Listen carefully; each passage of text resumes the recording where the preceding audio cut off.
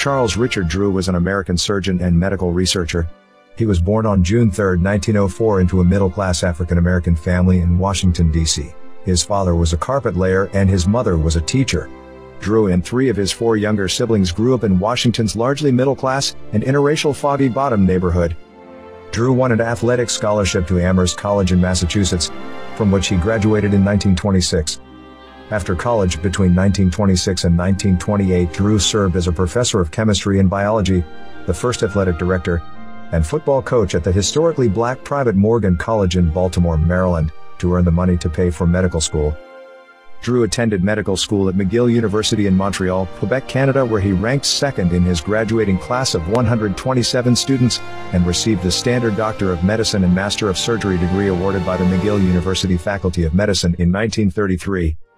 Drew's first appointment as a faculty instructor was for pathology at Howard University from 1935 to 1936. Drew researched in the field of blood transfusions, developing improved techniques for blood storage, and applied his expert knowledge to developing large-scale blood banks in the early stages of World War II. This allowed medics to save thousands of lives of the Allied forces. As the most prominent African American in the field, Drew protested against the practice of racial segregation in the donation of blood, as it lacked scientific foundation, and resigned his position with the American Red Cross, which maintained the policy until 1950. Beginning in 1939, Drew traveled to Tuskegee, Alabama to attend the annual free clinic at the John A. Andrew Memorial Hospital. For the 1950 Tuskegee Clinic, Drew drove along with three other black physicians. Drew was driving on the morning of April 1st. Still fatigued from spending the night before in the operating theater, he lost control of the vehicle.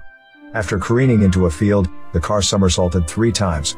The three other physicians suffered minor injuries. Drew was trapped in the vehicle with serious wounds. When reached by emergency technicians, he was in shock and barely alive.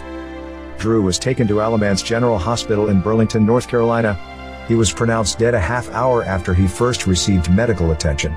Drew's funeral was held on April 5, 1950, at the 19th Street Baptist Church in Washington, D.C. To learn more about Dr. Charles R. Drew, click the links in the description below.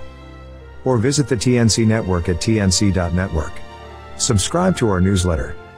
Also, subscribe to our YouTube channel and see our latest videos. TNC Network. Knowledge. Life. Fun.